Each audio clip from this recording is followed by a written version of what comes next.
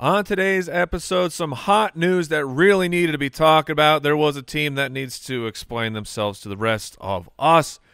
But speaking of explain yourself, that's what today's episode is all about. Some players who are much higher or much lower in our individual rankings, and we get put on the microphone solo, spotlight on us, and we got to explain ourselves. Make sure you subscribe to this channel. Leave us a comment on some players that need some explaining, and enjoy. Hey, this is DeAndre Hopkins, and you're listening to the Fantasy Footballers Podcast.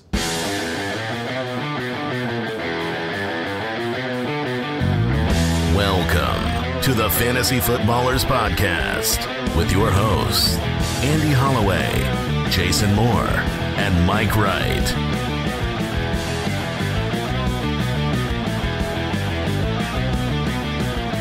Oh, welcome in.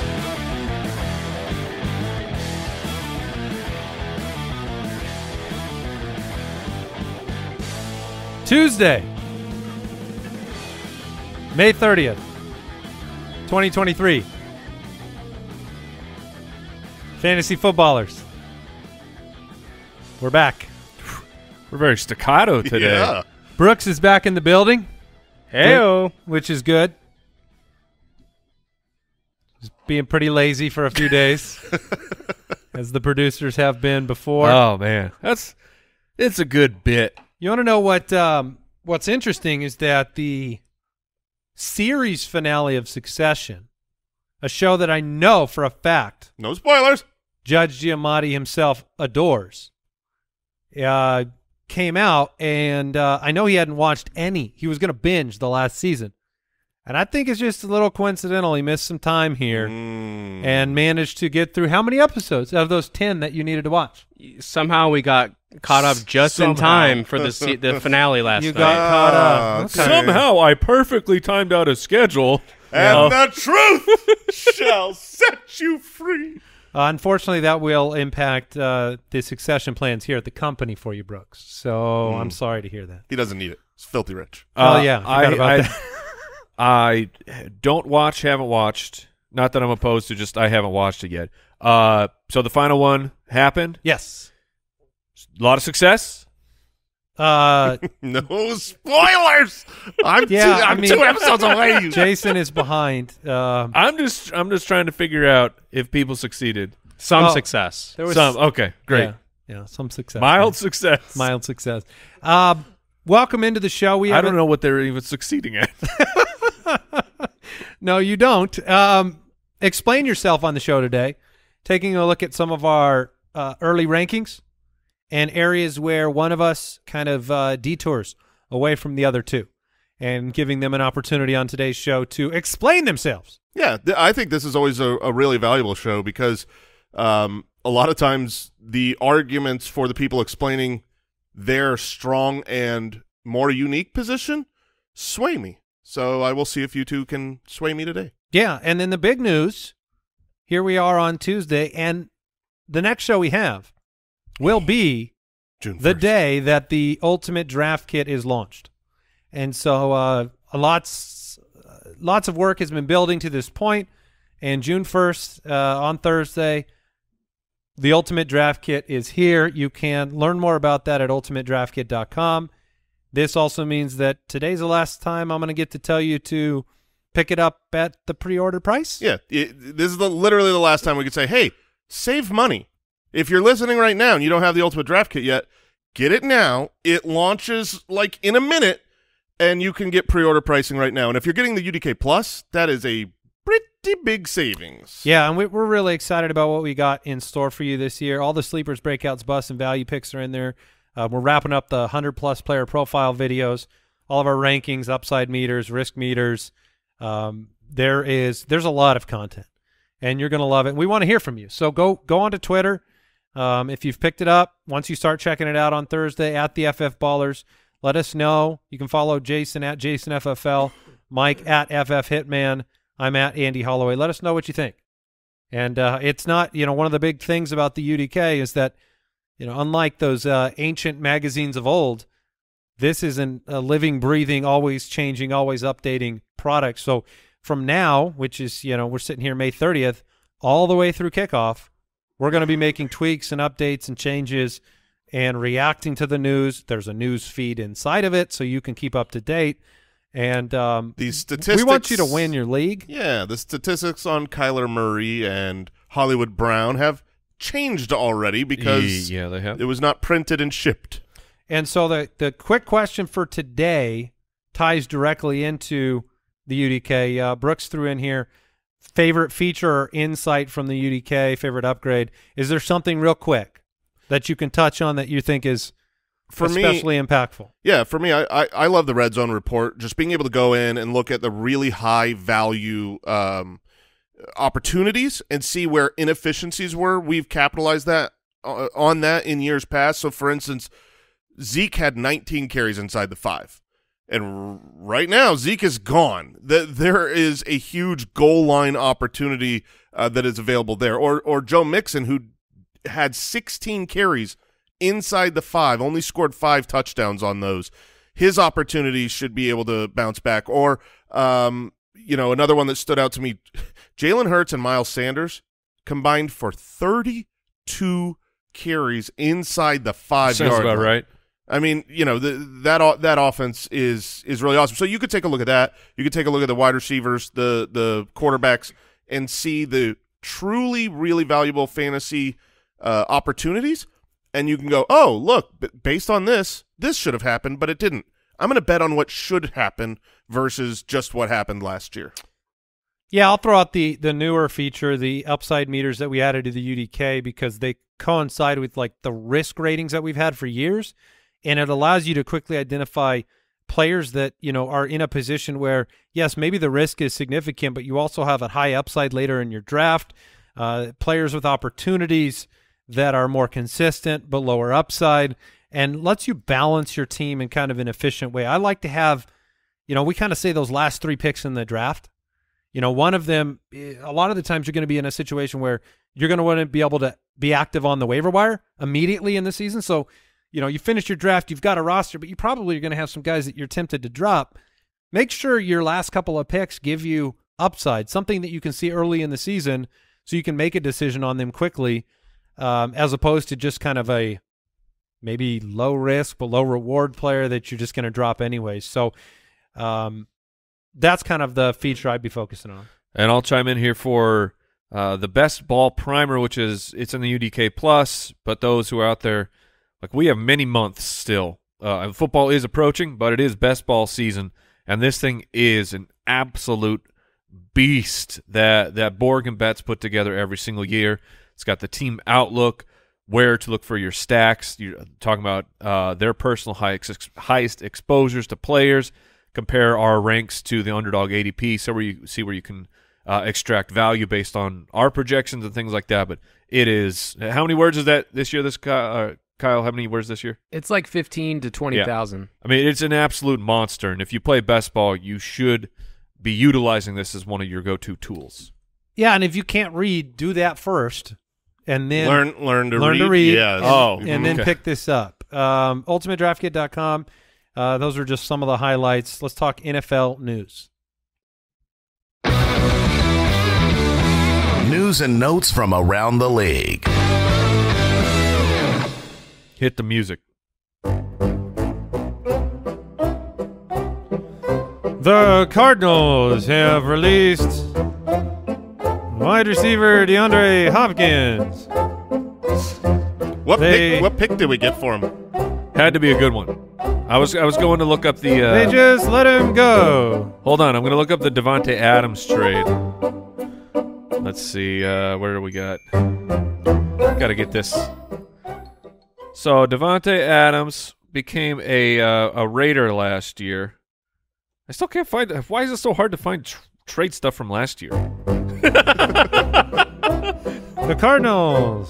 Yeah, the Cardinals. Uh, their offseason conti- I mean, they they dumped DeAndre Hopkins. Not even a post June first cut. They just took it.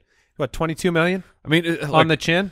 the for Moving the on. team, that was honestly, if you're going to get rid of DeAndre Hopkins, that's how you should do it. Just 2023 with a quarterback coming off of an ACL injury, and it you're rebuilding for this year. Eat it, eat that salary cap, have nothing moving forward. Um, it- it's just it was shocking to me, And uh, It was a Uh, 2022 first round pick and a 2022 second round pick. right, and then they gave him a gigantic extension for a player, the players who are basically the same age. I know that uh, that Hopkins has missed games, but it's like, how do you not get anything because of the contract? It's because the Raiders weren't available to trade with. they had already gotten DeAndre Sure. or uh, Davante Adams. Uh, but the market is hot and heavy already for DeAndre Hopkins, which I mean, shocking. Uh, the, the what we're hearing the most, it's the Chiefs, it's the Bills. It's going to be some great team, and they're going to get DeAndre Hopkins for just salary. I that's you know, I go on Twitter and I see people asking like, he joins the Chiefs, he joins the Bills. What are the what? What will Hopkins be in those situations, and then what will the fallout be? I mean, if he joins Kansas City, you know, the Kadarius Toney hype train can just get completely derailed, Mhm. as it should. Just cancel the tickets. just just yeah i mean board it up and and then uh, in buffalo it's like i'm not really going to move diggs that far but he's going to move Yeah. And it would it, it would absolutely 100% crush Gabe Davis, who is oh yeah a very high volume. Like he he's in like 90% of snaps. He, you know, he's in two wide receiver sets. oh it'd be so good for josh allen or patrick mahomes And, though Yeah, that's really the big key. You know, if he goes to Buffalo, it's not so much great for Hopkins, but Josh Allen with with two superstars. but i mean you see a wide receiver too in It- either location or higher oh, for fantasy, is Yeah, he like a top? He's definitely a top twenty-four wide receiver in either situation. i mean people forget again you look at the cardinals you hear the music he was great when he played fo- football last year with kyler murray um, and so rumors coming out he didn't play when he was healthy last year as well. That was another thing that came out. I don't know if you saw that. I did not see Well, that. mu- one. multiple games fully healthy, didn't take the field. That seems So- not great. Yeah, and so there is, um, you know, for there only being the Chiefs and Bills interested right now. That's just Oh, the leading. I'm yeah, sure there's a lot of teams. I'm interested. sure uh, 31 of 32 teams All are, right. are checking in on DeAndre Hopkins right now. um, well, Mike, why don't you catch us up on this Jimmy Garoppolo news? So the Jimmy Garoppolo news, uh, perhaps starting quarterback for the Las Vegas Raiders. It is now a perhaps because he had a foot surgery in March, and now everything is messed up. He's not participating in OTAs. There was a quote. Hopefully he's ready for week one, and then it started to come out that the the Raiders have reworked his contract. Essentially, they took his signing bonus that is now into base salary, which means he does not get that money right now. And the the the TLDR is if Jimmy Garoppolo is not healthy sooner than later, the Raiders can just cut him and move on. Yeah, if you if you recall, uh, we we briefly mentioned it on the podcast. yeah, there was a like, pump fake. like the, the announcement, the the Twitter sphere went crazy. Garoppolo to Raiders. Yeah, okay, what's that's interesting. But then the team kind of was silent about it, and then a week later they came out. They're like, "Yeah, we got Jimmy Garoppolo," and it was like, "What? What happened in that time period that you didn't announce that Jimmy Garoppolo was your starting quarterback?" Well, this is what happened. He has a foot problem, and there is no guarantee that he is the starting quarterback for the Raiders this and, year. and in in totally unrelated news, Tom Brady um, is now an owner of the Raiders. who Minority are- order. He's like right, right, right, right, Yeah, right. yeah. Yeah, uh, you know, but I'm just saying he is part of that organization.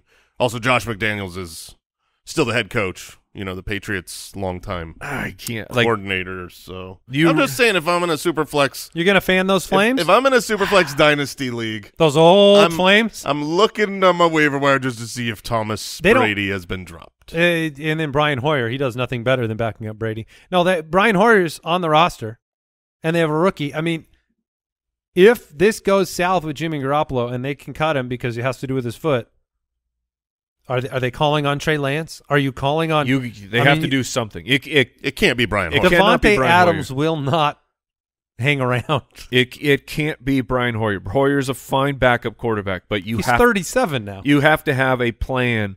Oh Lord, is our s- slack is Carson Wentz? You, you oh, need, Oh, Matt. Ryan, baby. Yes. You need to have a real grown up plan And a grown-up plan does not involve Carson Wentz Oh, coming yes, and it being the quarterback of your team. Oh yes, Carson. is uh, Trey Lance. I mean, at at this point, I I don't even know like like what what backup quarterback can they go trade just a, a bag of chips for that is worth a a shot to be a starter. If it's Matt Ryan oh, it's it and your bet, your little Carson Wentz Matt Ryan bet goes sideways. it's gonna be Carson. Falcons tight end Kyle Pitts was not participating in OTAs last week, had surgery for his MCL in November last year. Matthew Betts says he should be 100% by training camp. So I believe him. yep. Uh, and then ESPN had a report writing the Jaguars didn't want to see Travis E- Etienne taking 74% of the running back carries again. Um, Tank Bigsby was a third round pick. We've talked about it on the show. Uh, I don't think I'd want my running back getting 74% either. I definitely don't blame him for that. And so that could speak to a, a more of a balancing there. I don't think that means Etienne's going to necessarily struggle. He's, he's been very efficient, but um, it's an important report Yeah. the They- plan last year wasn't for him to take 74%. The plan went sideways when James Robinson y- stopped sideways. performing and then and then complained about it and they shipped him off. Yeah, it this is this is what the the Jaguars with their actions have told us as well. And Etienne is still a a fine running back too with weekly running back one upside, but you just like when you're making your decisions here, if you're looking at Etienne or someone who's you're like, "Oh, this is a talented running back who should see 70 plus percent of their team's attempts." Maybe you go that direction.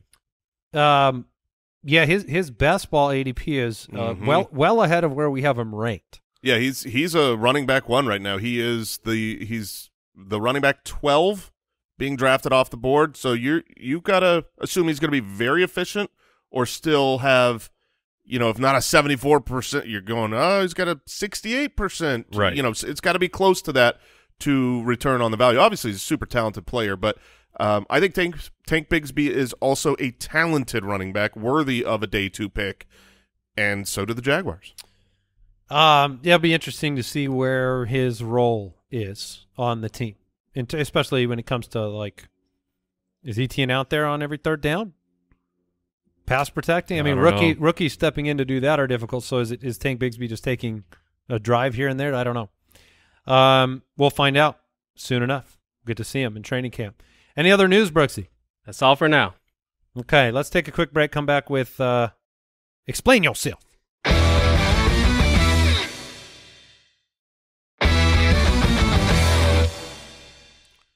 Does seem like the Raiders are like on the razor's edge of being a disaster. Yes. Like in in the maybe we commit for Caleb Williams type Mhm. of disaster. Like there's not options out there that are like when Carson Wentz's name is brought up in a conversation, you've already reached the point where you might want to hit the panic button. I think that Carson Wentz might be a better path to the number one pick than Brian Hoyer. oh man, you I and think your both can get him Wentz there. Hatred. It's I think both can get him there. it's only because he's bad at football. It's a strong point, Jason. What do you Yeah, have? what, do you have a a counter? counter to that? uh, I have a counter that He wasn't always. that he is Okay. far better than Brian Hoyer at football right now. I don't know. Who would you rather have run your offense, Colt McCoy or Carson Wentz? Carson Wentz. Colt McCoy. Which one has a job right now? Well, Yeah, the better quarterback does. Um, is is Carson Wentz just a bad time? I think so. I like think in, that's in the, a locker room, though. I mean, like that's what I'm talking about. Yeah, I, I think he's not the most beloved. like does he turn the music way down? Do you know what or I mean? or it's just like polka. He switches it. Yeah, he's he like. I don't know uh, if he's a polka guy. You think uh, so? I don't know. I think he's uh I wouldn't doubt it. smooth jazz kind of. I don't know. All right, we are. let's move on. I don't think any of us are explaining our Carson Wentz rank today. Thankfully.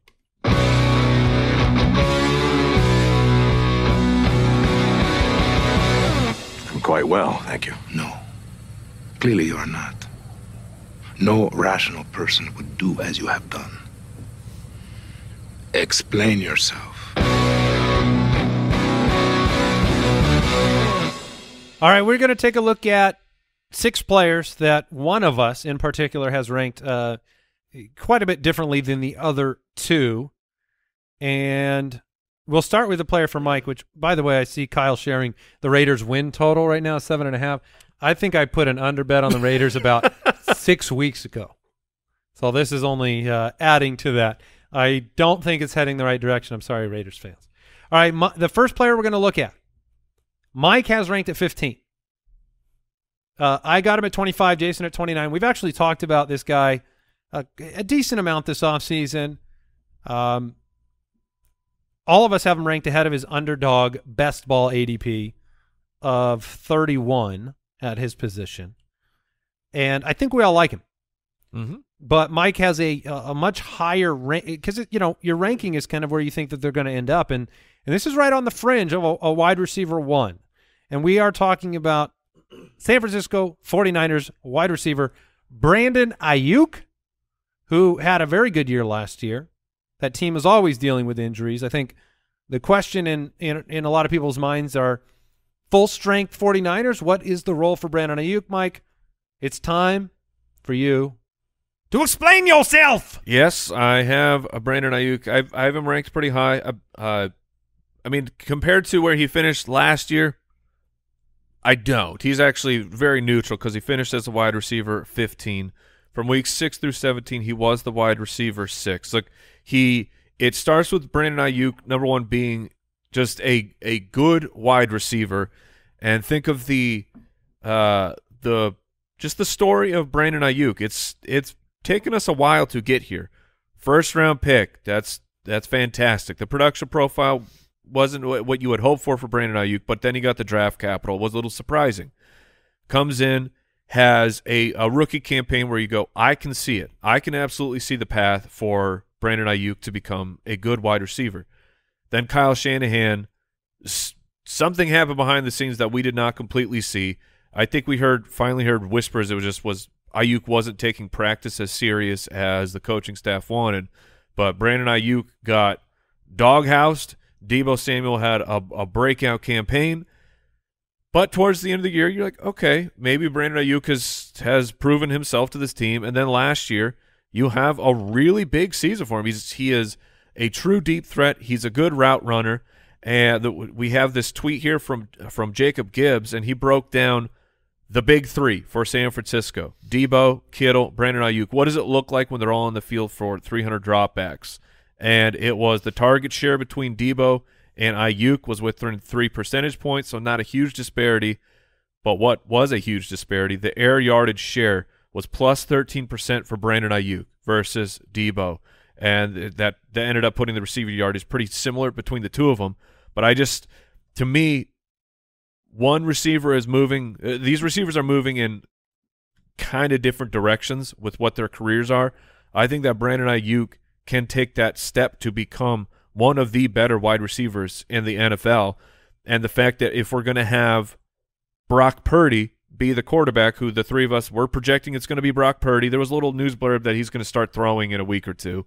Uh, so that that was great news for Purdy. But if it's a pocket passer and it's not Trey Lance, we can have more confidence in these pass catchers, and, and that's how I, I see things shaking out.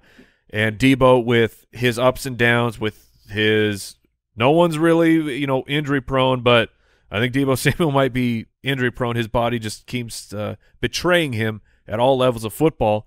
And there's Brandon Aiyuk just just coming through, being an excellent player for this team, and could easily turn in to their number one wide receiver. Yeah, I, if he's not already. I get what you're saying, and and he very well might be. I mean, he outscored Deebo in points per game last season, so you can already say, oh, he he should be their wide receiver one.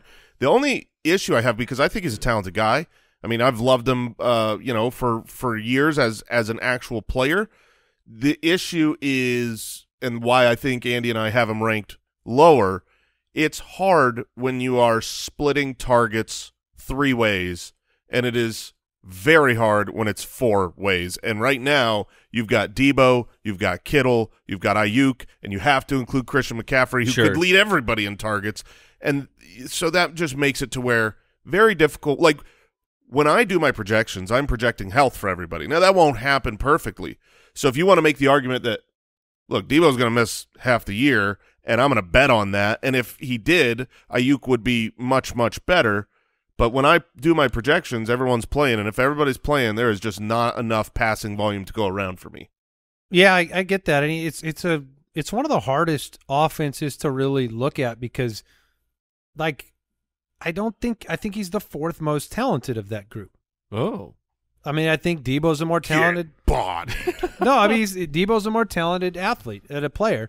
Uh, Kittle, I think, is extremely talented and a game breaker at the position. McCaffrey, we already we don't have to sing those praises. So there, I haven't seen a football game where Brandon Aiyuk, I feel like, is Takes over. yeah, he's not he's not like uh, demanding the targets necessarily, but I mean the proof is in the pudding. Like he's very productive. Like he he's a super productive. You're going to get uh, eight touchdowns. I think Deebo scored twice through the air. I mean he he uh, scored four times as many touchdowns as Deebo through the air. So um, a couple multi touchdown games for Aiyuk. I mean there were impressive games, no doubt, and he's going to have a lot of room to work because those other three guys are so much of a focus. Like when the defense is playing the 49ers they are not getting into that room and going, man, how do we stop Brandon Aiyuk today?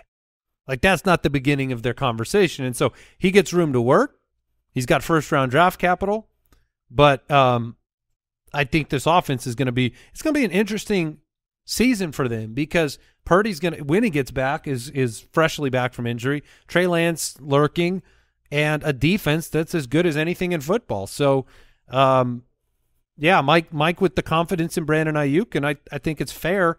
It's hard to argue when he's finished at that position. well, he's he, if, he, despite the the first half of 2021 being just a complete dumpster fire of of absolute nothingness.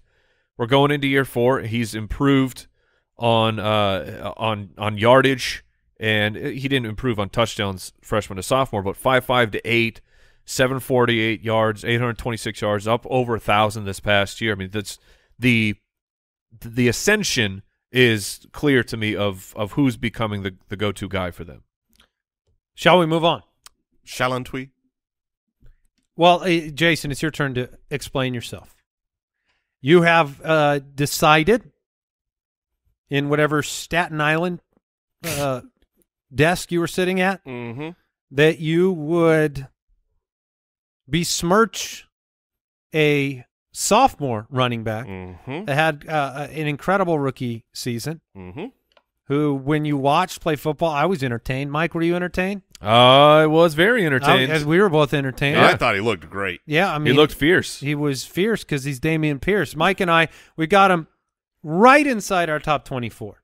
Mike at 24, I'm at 22. Basically, I consider ourselves reasonable people. You got him at 32, um, which is uh, that's down there. That's down there. It's Just making sure you know 32 teams. there's 32 Yeah, teams. Yeah. yeah. So, okay, uh, you, but you know that. I am currently aware. Okay, yes. and so Jason, you uh, may not be later. without further ado, explain yourself.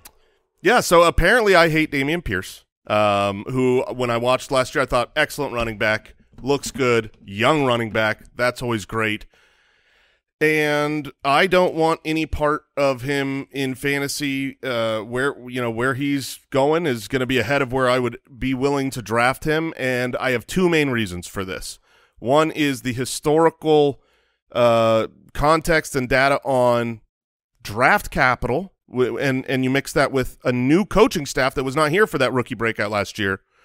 Dameon Pierce is a day three pick, and for better or worse, the difference between a day two pick and a day three pick in the NFL is massive. It's very meaningful for About a a franchise. day. About a day. About a day, but it's like it- 24 hours. the the the second round and third round picks those are perceived as so valuable so much was work is put into them and then day three is like okay we're going to shotgun you know fourth through seventh get special teamers and and whatnot and but here's the proof right i went back and over the last decade i looked at all of the best fourth round running backs over the last decade so i'm not talking about like obviously people picked in the fourth should be worse than people picked in the first I'm talking about the ones who performed well, the best of the best over the last decade who proved they were good. The next year, their sophomore year, on average, those players lost 42 fantasy points per per season on average. And in fact, almost all of them were worse. Only two of the top 10 were better in year two, Tarik Cohen and Rhamondre Stevenson.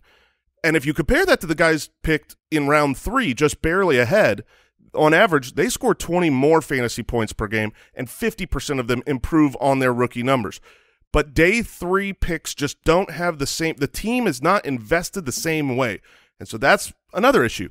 They went out this offseason with this coaching staff and picked up Devin Singletary.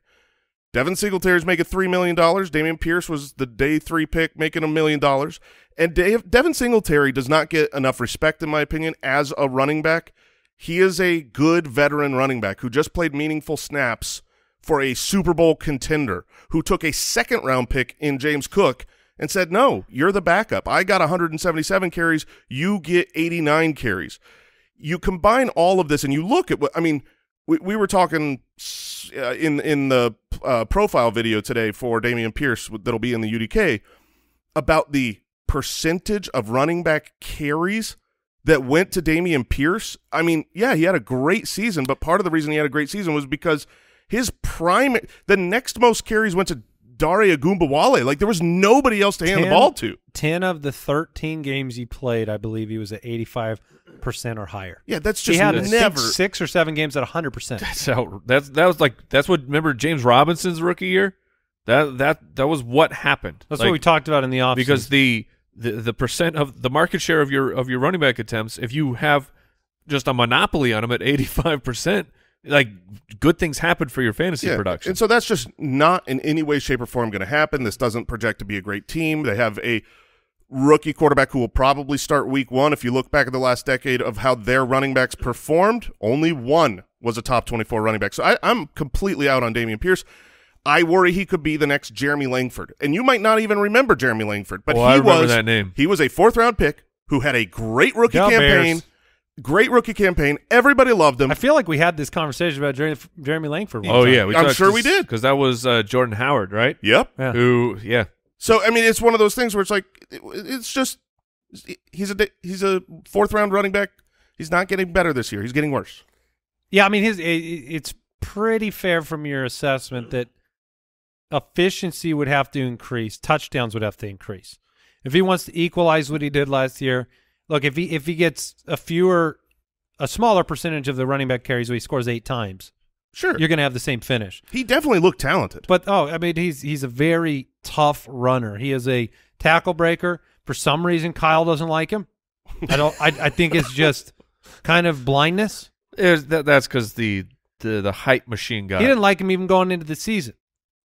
Did you like the 1,200 yard pace he had, Kyle? He didn't get to 1200, did he? Did you like the pace? He got steamed up way too much last year. you don't think he paid out on the steam? I don't know. I, Kyle? I, don't think I didn't draft him. I'll tell you that. Oh, no, man. no. Kyle, Kyle holds grudges. He really does. Um, and, and his entire argument is everyone likes him. oh, this is true. Yeah. We have been digging into this. Kyle hates the majority. That was that was it. the contrarian in him. Too many people Wait, find him attractive. So if we all turn against him, is there any chance you'll go? oh all in, the chips will go all in. Not at RB twenty. That's too. That's too that's rich. where right? you're going right now. Yeah, an Yeah, underdog. that's a little too. Yeah, that's that's a little too rich for me too. Um, especially with a there's a possibility that Devin Singletary splits the carries with him. There's a strong possibility. So, um, All right, Andy, you're going to be up next Yep. here, and we're talking about a player who I think we all like. We nobody's going to argue against the talent here, but you like him a whole heck of a lot. Uh, you like him more than Mike and I. Mike and I have him at 18 and 23. You have this player at number 10, and this team just went and drafted an additional target taker on the field away from him, and we're talking about the biggest, baddest man, DK Metcalf. that's Explain true. yourself! there it is. There it is. You jumped in too soon. Um, yeah, I, I guess I'm a little surprised that I am somehow on Metcalf Island here. Um, this one, see, and, and Kyle, you said it was hot that I had him at ten. Where's his ADP right now? Do you have that? Wide receiver fifteen. yeah, ten's hot. Okay, 10 is a little hot. Look, eh, this is one where, you know, we've talked a little bit about this offense. We've seen the impact on the ADP of Tyler Lockett with the drafting of Jaxon, Jackson Smith, and Jigba. Um, we saw Metcalf stay the same, and I think that that is appropriate.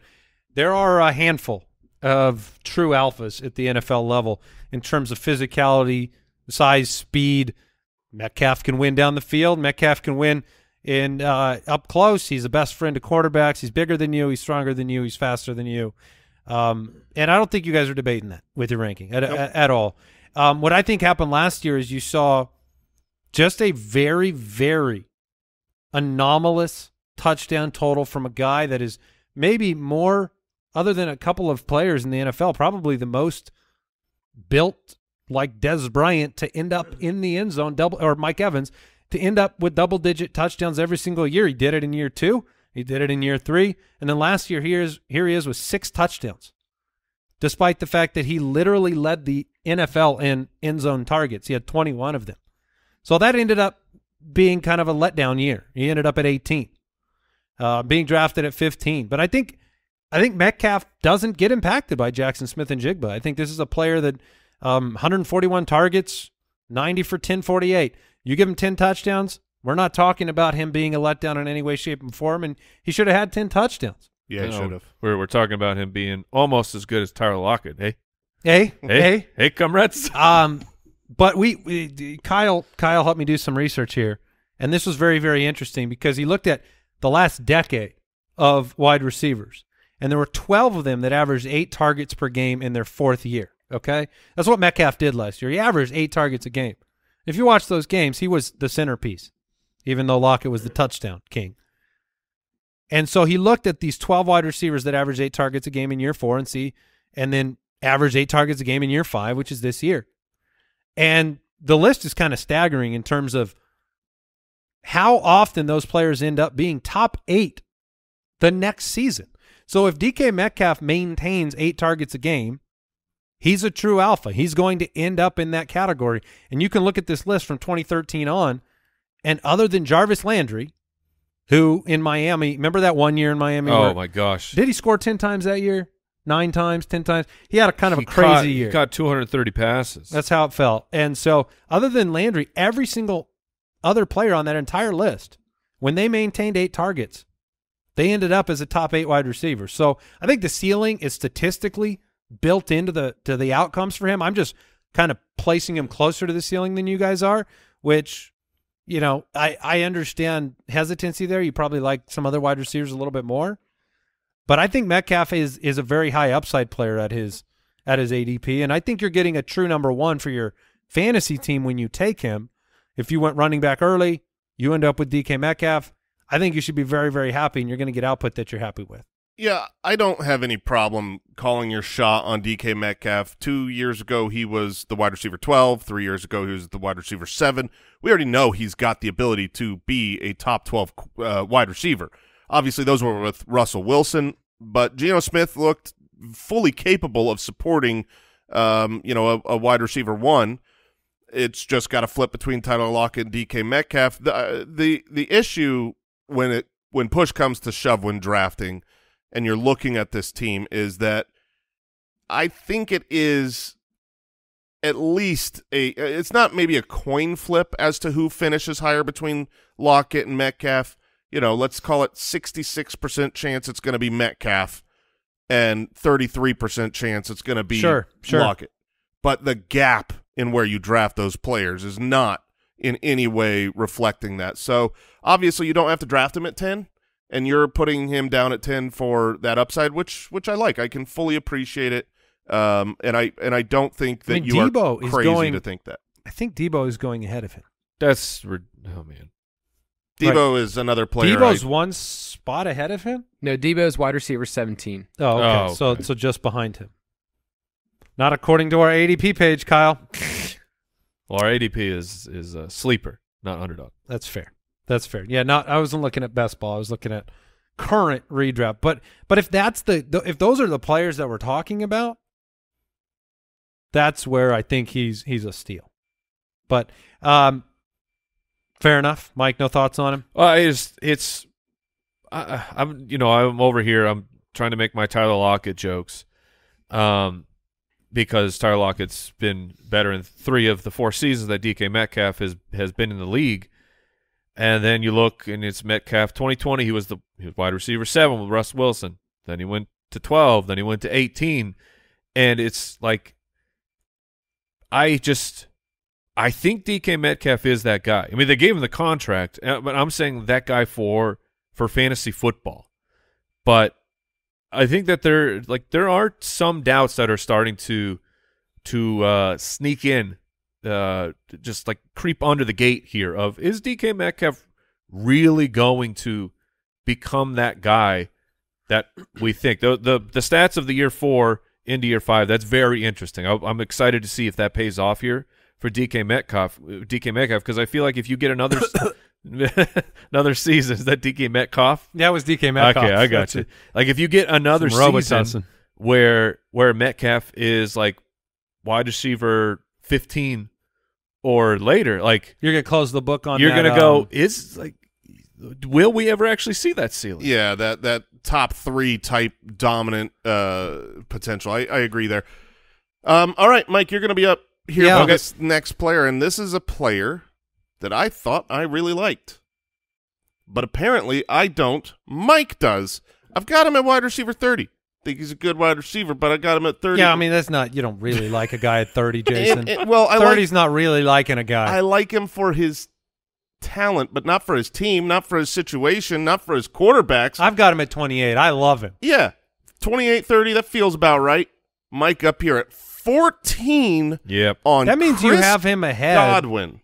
of DK Metcalf So Mike considerably at 14 and foolishly. on Chris Godwin, it is time for you to explain yourself. So it is. It This is. is so much spice. It is the Rod God. It is Christopher Godwin, who is 27. Look, it starts here with this is the second year recovering from the ACL. Last year was wild that he tore his ACL towards the end of the season two years ago.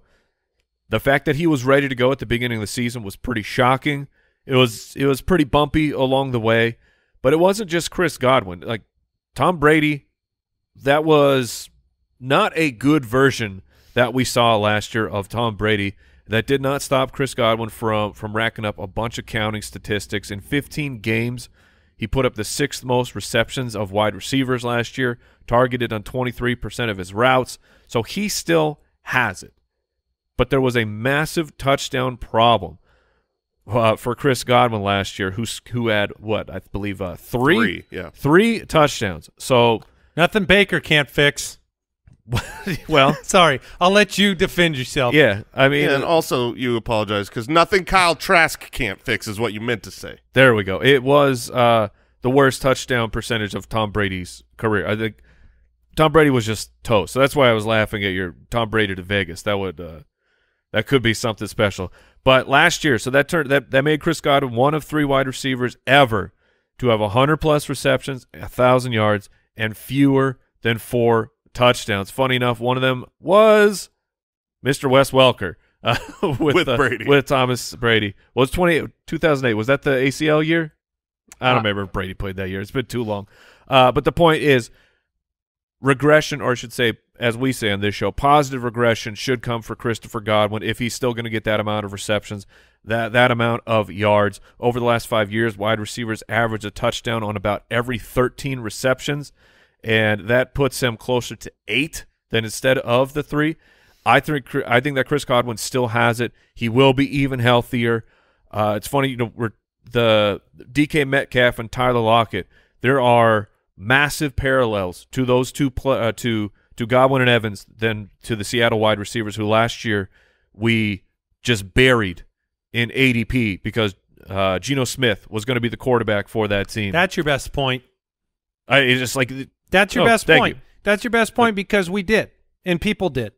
yeah, oh, I'm like- guilty as charged. And, and, and I think we, we did have a couple of those times when we were just like, is this the dumbest thing ever? We've seen them play football. They're great. Yeah, and Mike Evans and Chris Godwin, I think, are still good wide receivers. If if you want to say that Mike Evans is probably losing a step or two, okay, he's a bit older. But Chris Godwin at 27, in the prime of his wide receiver career or his wide receiver years, I think that people are massively undervaluing a, gra- a great route runner, a player with good hands, and someone who, like, they're look at the, the weapons on this team. I mean, Chris Godwin should should see easily 24% of the targets. Here, here's the uh, Jason. I'll let you speak too, but the worry here should uh, would not be the case for the Metcalf Lockett under under rating of last year.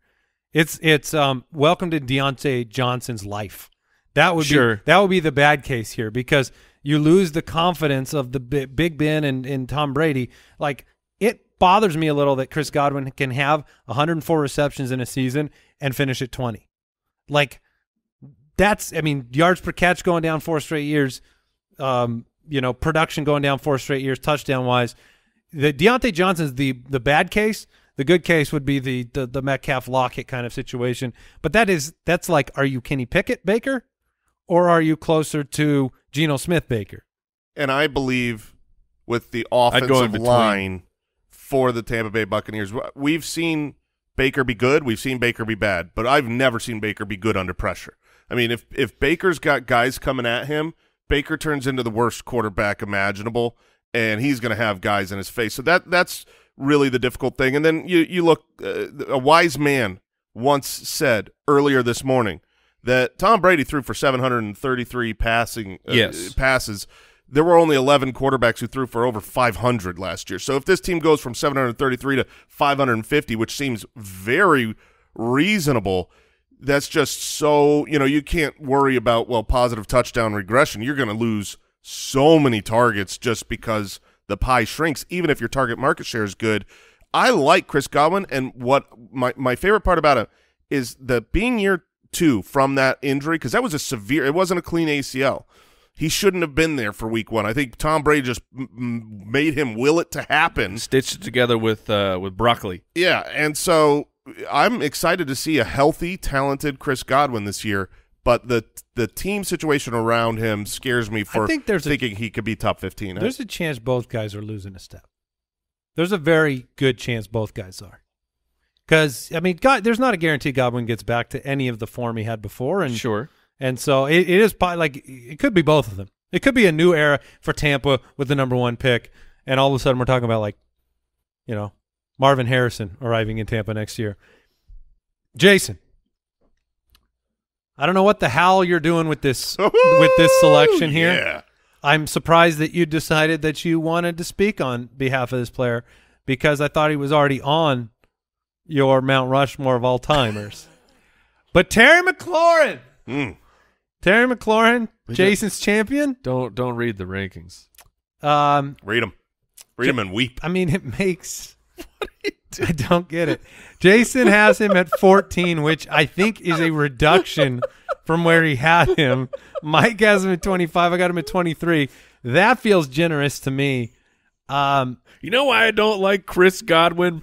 Because Baker Mayfield's his quarterback. Now let me tell you about why I love Terry McLaurin with Sam Howell. Uh, Jason is alone when it comes to the the underdog universe, the best ball universe, who has him at 26. Um, he's 27 years old, got three years left on a deal. Last year had 1,100 yards and five touchdowns. Jason Moore, You guys go crazy. it's time. Explain yourself. Do it. Okay. Terry McLaurin. Where's the? You don't have a jersey on for Terry McLaurin today? uh, I got a tattoo, but I don't want to take the shirt off right now. It's it's fresh. It's, uh, Ah, yeah. gotta gotta wait for that to heal up. Um, You haven't had it on in previous years. It is no. I uh, look. Ter- we will, we would all agree. Terry McLaurin, very good wide receiver. Um, situation maybe not that great. I mean, this is a team who last year ran the ball the fourth most times, and they were twentieth in passing attempts. That's not great. And in that team with bad quarterback play, you want to know where Terry McLaurin finished? If you didn't remember, wide receiver fourteen. So I don't think it's that crazy that I got him at wide receiver 14 at all. In fact, I think maybe I am too low. And I really think that because I had to move him down to wide receiver 14 when I actually finished my oh, initial man. rankings. And a lot of this is because of Eric Bieniemy and Scott Turner. Scott Turner, their former offensive coordinator, who was uh, apparently best friends with Curtis Samuel. He came from Carolina, played with Curtis Samuel, and all of that jazz he's out. He's gone. Who'd they bring in? Eric Bieniemy. Eric Bieniemy, obviously, we don't we don't know how great he is. He's he's had Patrick Mahomes, so like all of his numbers are going to look good. You can't look at well, how was his yardage and touchdown numbers? Uh, pretty good. He had he had Patrick Mahomes, But you can look at the passing attempts and the rushing attempts. What did he want to do in a perfect world? And he lived in a perfect world because he had Patrick Mahomes. And if you look at those numbers, you find someone with rushing offensive attempts. And this was for a team that was winning and running the clock out at the end of the games at 23rd in the league, 27th, 23rd, 20th, 25th. And passing attempt numbers for their offense, fifth in the league, second in the league, third in the league, ninth in the league. Now, obviously, we got to be realistic and say, well, Patrick Mahomes sways some of that. You're going to pass a lot more with Patrick Mahomes. But this is not going to be a team running the ball the fourth most in the league. And their strength now with Jahan Dotson is Jahan Dotson, Terry McLaurin are a great one-two punch. If you look from week 10 on, that's when Dotson got back from injury and they stopped doing all the weird gadget stuff with uh, Curtis Samuel. You had a great stretch for Terry McLaurin. He had a 27% market share. And I think him and Jahan Dotson, I'm in on both of them. And the thing is, is like I actually do like Sam Howell. I think that, you know, I had him So as does a, Washington. I, I had him as a first round uh, grade. Uh, he obviously was not drafted in the first round. He could come out and absolutely suck. or the second. Yeah, no, yeah, he could Or- come out or the third. and absolutely suck. Hold on, or the fourth. Fifth. We did it. There we go. We, we found him.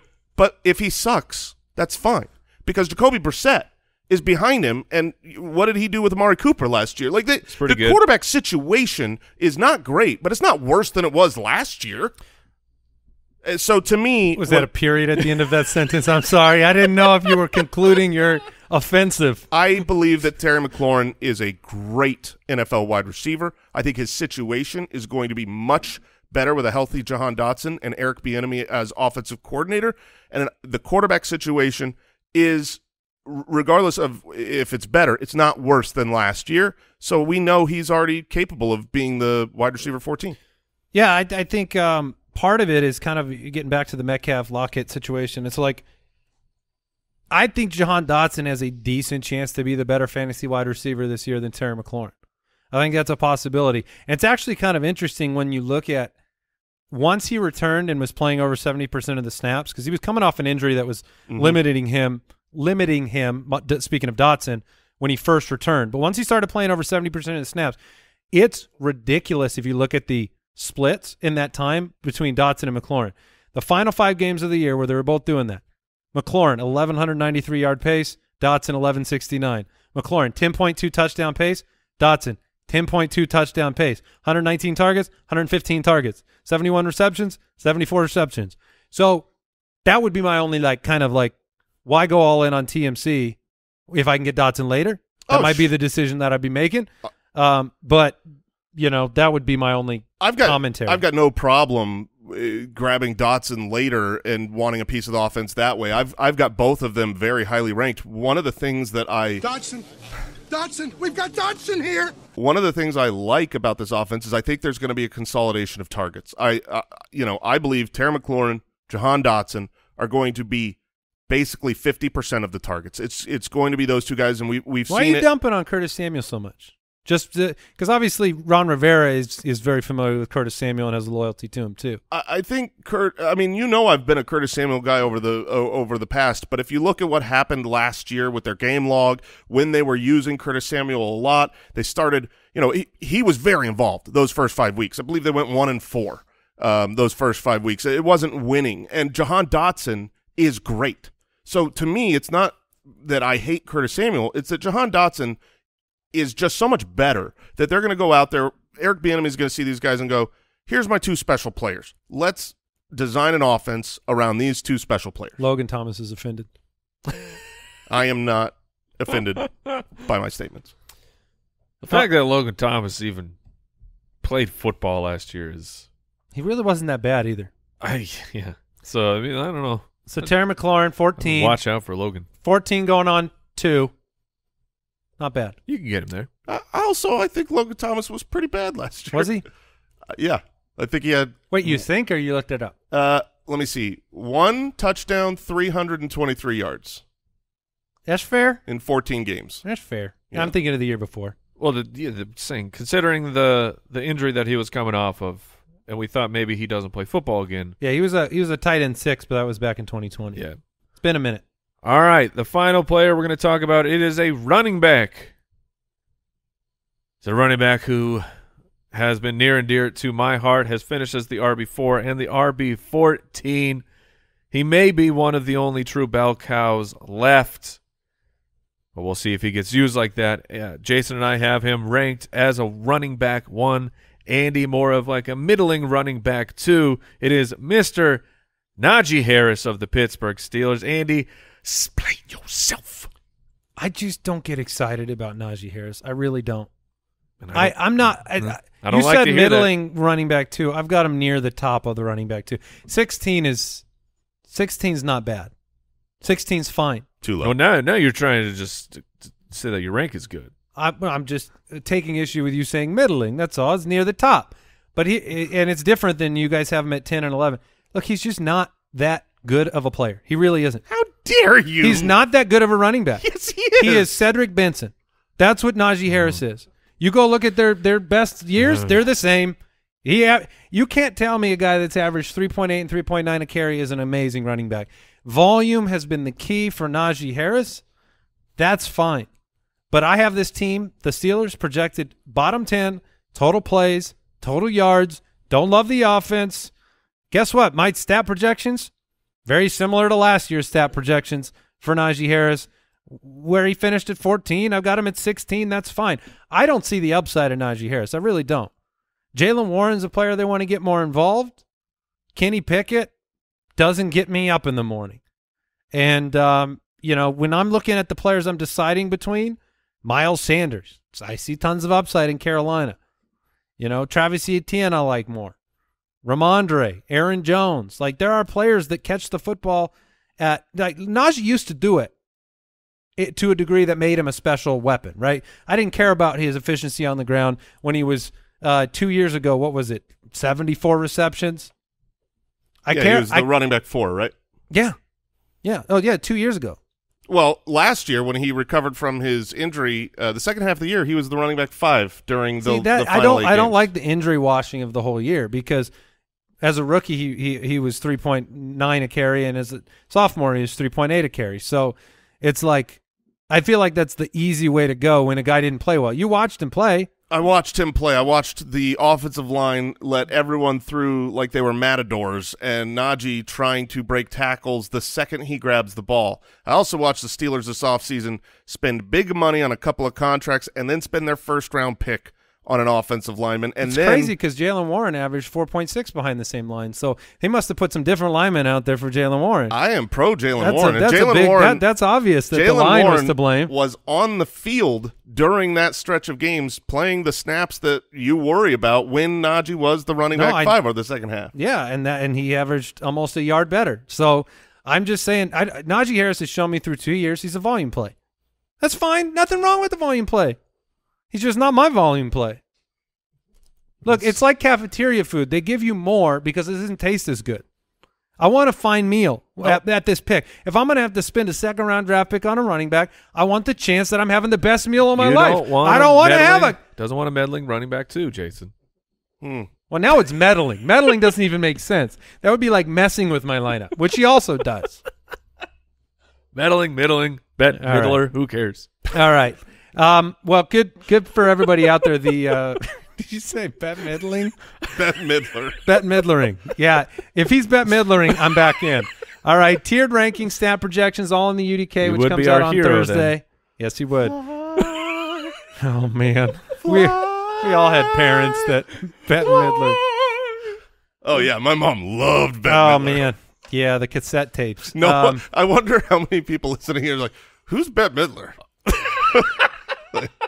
Have we reached that point? Yeah, I think at this I point think the we only have. thing she's famous from is Hocus Pocus. Yeah, she. Yes, yeah. Uh, kids, Bette Midler, Actress. is, is the the main character in Hocus Pocus one and two. um, big Bette Midler fan, Brooksy. Nope. How about you, Al? No. Nah, no. Oh, man. Did your mom have the cassette tape though? Oh yeah. Yeah, That yeah, was I mean, that, was wind beneath my wings, right? Yeah. Yeah. Yeah, Yeah, yeah. yeah. Heard that a lot as a child. All right, the UDK comes out Thursday. UltimateDraftKit.com. This is your last chance to get it at a discount. You, uh, I know you're going to get it. I was on Twitter, and someone was talking about the UDK, and then somebody replied and said, oh, "I'm going to get that soon." Hey, look, Um, look. I- well, yeah, hey, 'cause it comes take out your June time. 1st. Take your time. June first, get it. It's out. That's true. Take, you know what I mean? Like you don't have to rush and save money right now. But I mean, it's all just take your time. I would get it on the first. But if you're like, "Eh, I do want to save money, you're running out of time. All right. Thank you for joining us. We'll be back with another episode on Thursday. For Bette Midler. Goodbye. Goodbye. Thank you for listening to another episode of the Fantasy Footballers Podcast. Join our fantasy football community on jointhefoot.com and follow us on Twitter at the FF Ballers.